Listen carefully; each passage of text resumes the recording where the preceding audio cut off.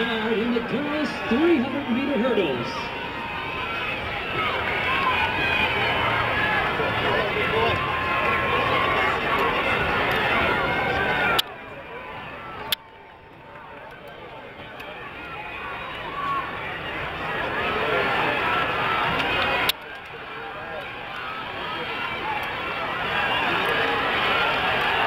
And we're to the straightaway.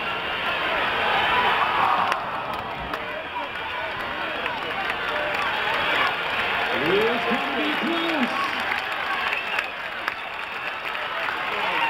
And it looks like lane six, Alicia Johnson. Alicia Johnson's time, 41.83, finished out, followed by Daphne, the time of 42.22.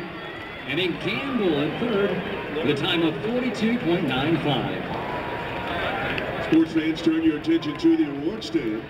The results of the Conference 5A Boys 400 meters. Finishing sixth place, Anthony Johnson of Keller Central. Finishing fifth, Jamal Marshall of Fort Bend.